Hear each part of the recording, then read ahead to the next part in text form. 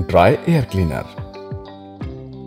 इस ट्रैक्टर में dry type air cleaner का इस्तेमाल किया गया है। ड्राई टाइप एयर क्लीनर इस बोनेट के अंदर की ओर स्थित है। आइए इसे साफ़ करने की प्रक्रिया समझते हैं। डिसमेंटलिंग। बोनेट का लॉक खोलें और इसे ऊपर उठाएँ। एयर क्लीनर के कवर पर लगा हुआ ये डस्ट अनलोडर वॉल्व है। इसे समय समय पर इस प्रकार दबाएँ और इसमें एकत्रित धूल मिट्टी गिरा दें। फ़िल्टर बॉडी का कवर खोलें। इसे खोलने के लिए ये तीनों लॉक खोलें।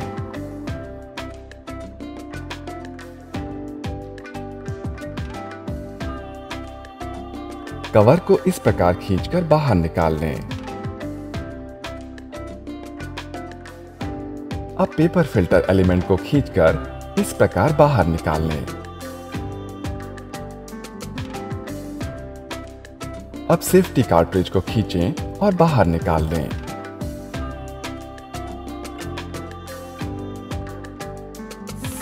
ज़रूरत पड़ने पर पेपर फ़िल्टर एलिमेंट को इस प्रकार अंदर से बाहर की ओर हवा मारकर साफ़ करें।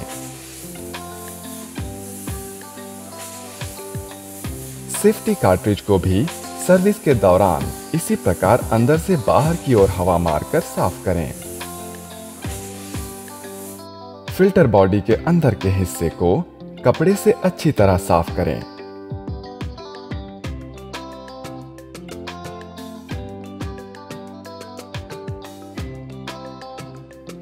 कवर को भी अंदर से साफ़ कर लें।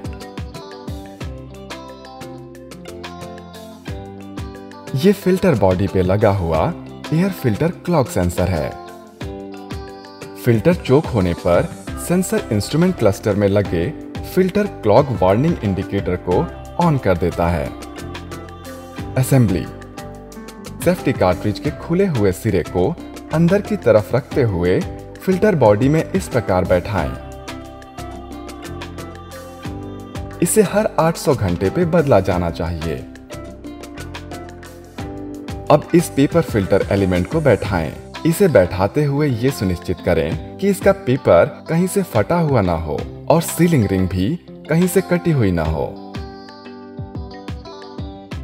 इस फ़िल्टर एलिमेंट को फ़िल्टर बॉडी पे इस प्रकार बैठाएँ।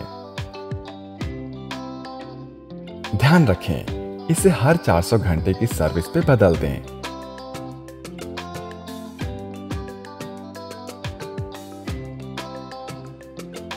अब फ़िल्टर बॉडी में कवर बैठाएँ।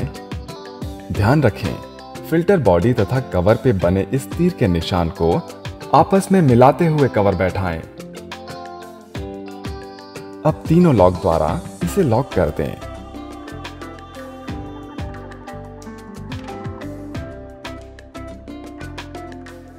ये सुनिश्चित करें कि फ़िल्टर बॉडी से लगा इस होज पाइप का क्लैंप भी पूरी तरह से कसा हुआ होना चाहिए। अब बोनेट को बंद कर दें।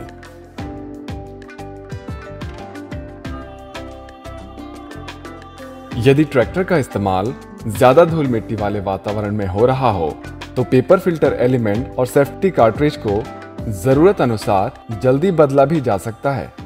धन्यवाद।